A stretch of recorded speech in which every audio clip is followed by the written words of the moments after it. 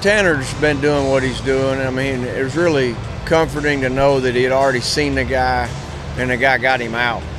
You kind of like your odds when a guy beat, you know, I mean, just going to the plate, you're going to have a little more of an edge. And Tanner did a good job of finishing that at bat. It wasn't all me, um, for sure. It was guys getting on base. It was guys um, doing what they had to do, especially guys uh, pitching. Man, our pitching staff, they don't get enough credit, man. This is it's extraordinary to watch. It's fun to watch out in the center. But um, you know, it was it was a good it was a good weekend, and you know, we're just looking forward to Arizona on Tuesday. I think it just shows uh, kind of what team what kind of team we are. You know, got down.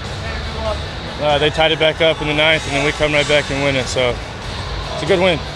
Doesn't matter where we're playing, who we're playing, we're going to show up. You're gonna, I mean, we're going to try to play the game the right way. If you want to talk about statements now, A&M's playing the game the right way also. So is TCU. So is LSU. All these teams got good players.